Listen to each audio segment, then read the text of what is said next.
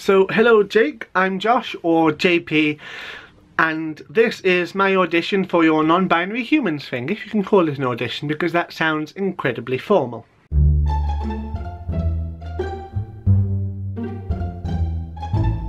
I am currently 20 years old and I spend my time divided between my university town in North Wales and a small village of 300 people in Cheshire. My gender identity is fairly simple to explain, I would say agender, because I don't feel particularly male or female. I just feel like me to tell the truth, so why bother labelling it? I just don't play with gender in my highway. Though, I suppose I do occasionally put on makeup and nail polish, although none right now because it's all packed ready to go back to my new house in a few weeks. My sexuality then typically is a bit more of a mouthful. When I'm talking to most people, I will just say gay or more often gay is the ace of spades, which is one of my favourite phrases. That's merely to preserve what's left of my sanity, because trying to explain the performativity of gender roles is a bitch. I would specifically go for a demi-androsexual and panromantic.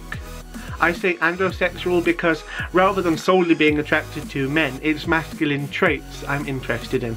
These can be in cisgendered men, but it can also be on particularly masculine women or trans men or anyone who's just a little bit masculine. I can't really explain it. Now as for three things about me, the first is I'm a writer. I have a way with the written words which, without meaning to sound particularly big-headed, is fantastic. I am very, very good. I know it sounds like I'm just bragging, but I'm not. I have been objectively told that it's good by teachers and by a few agents I've sent stuff off to they like. I mostly write science fiction and fantasy, which are my favourites. I'm heavily influenced by Sir Terry Pratchett, whose books I have all along the wall behind me and a lot all over the place as well because there's over 70 of them. But I also have recently branched out into non-fiction, attempting to educate people and to make them laugh and just generally to try and improve the way people live their lives, whether or not by actually causing positive change or just making them happy and What's wrong with that?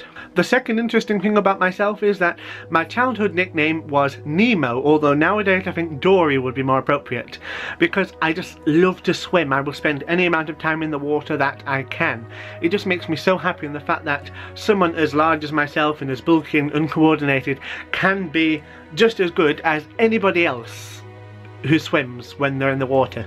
I mean, I could have been good at rugby, and I was, but we didn't have a proper team at school, and I used to spend any amount of time in the water that I could, and to this day, the nickname has stuck. The third interesting thing about me then is that I have a pet rock called Bernard. Bernard is an interesting story.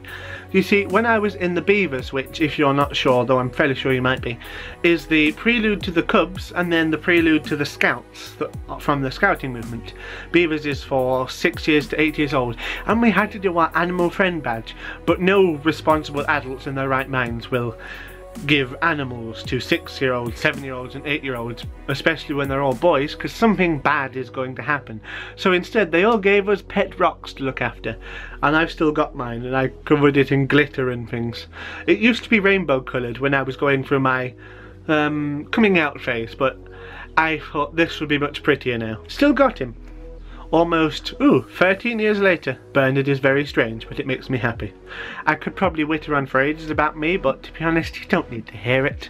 If you're at all interested in letting me help out with the project, please let me know because it's something that I care passionately about. When I was coming out as gay, that was all I knew there was really. I'd never even heard of transgender being a concept. I knew that there were some people who liked to wear dresses, but I had no idea that they actually felt like women on the inside, that they were women.